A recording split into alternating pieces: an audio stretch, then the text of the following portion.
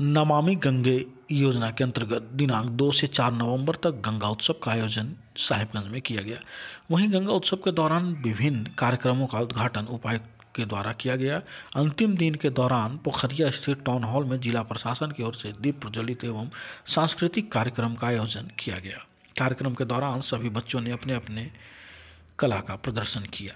वहीं उपस्थित पदाधिकारियों ने इनके प्रदर्शन से खुश हो और लगा कि बच्चों ने उनके दिल जीत लिए संध्याकालीन शकुंतला घाट के निकट भव्य आरती का भी आयोजन किया गया। वहीं राजमहल विधायक अनंत ओझा ने गंगा को स्वच्छ रखने की बात कही और नगर निगम से कहा कि कुछ ही दिनों बाद भव्य महापर्व छठ की शुरुआत होने वाली है, इसलिए घाटों की स्वच्छता बनाए रखने में आमजन सहयोग करें।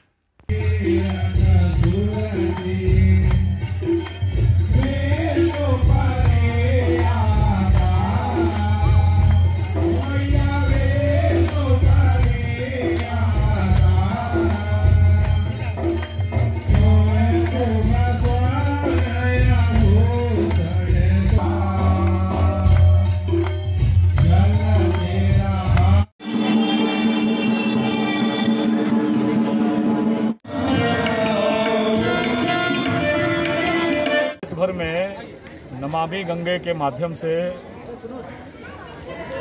गंगा उत्सव मनाया जा रहा है।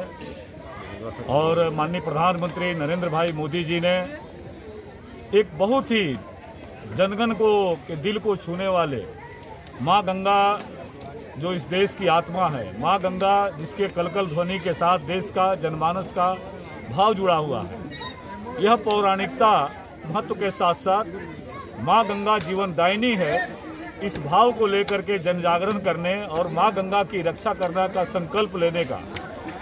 स्वच्छ गंगा, निर्मल गंगा का भाव हर जन जन के मन में आए, इस प्रकार के उत्सव, इस प्रकार के वातावरण के साथ माँ गंगा की भव्य आरती आज संपन्न हुई है। निश्चित रूप से यह इस प्रकार का आयोजन हम सब आने वाले समय में और ज़्यादा सुयोजित तरीके से हो और माँ गंगा की भव्य आरती के साथ साथ गंगा के स्वच्छता का संकल्प हम सब लोग जीवन जीवन में उतारे, क्योंकि आने वाला समय में महान पर्व छठ पूजा हम सबको बीच में आने वाला है। अभी मैंने घाट पर ही डीसी साहब से और जो संबंधित अधिकारी है, सब लोगों से हमने आग्रह किया। हमारे नगर पालिका के भाई चेयरमैन हैं, इनसे भी हमने आग्रह किया कि घाटों का सफ़ाई अच्छा में इस प्रकार का लोक जागरण का यह अभियान अनवर चलता रहे। तो निश्चित रूप से हम पुनः उस गंगा के गौरव को हम पाने की दिशा में संकल्पित होंगे।